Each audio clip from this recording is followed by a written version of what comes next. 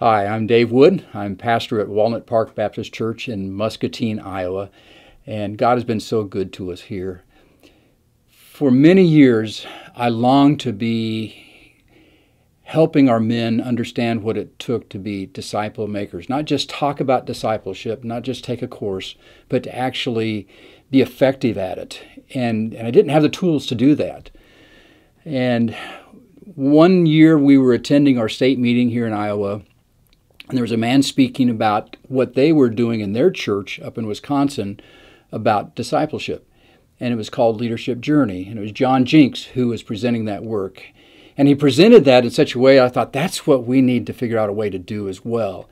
And I wanted to talk with him that day, but there were so many others talking with him, I really didn't get a chance to speak with him after the meeting. However, on the way out from the meeting, we had to leave, and I was getting out the door, and John Jinks was leaving at the same time. And we had a chance to have a conversation about him coming to our church to present Leadership Journey. And our men understood the vision and understood the need, and they said, We've got to do that.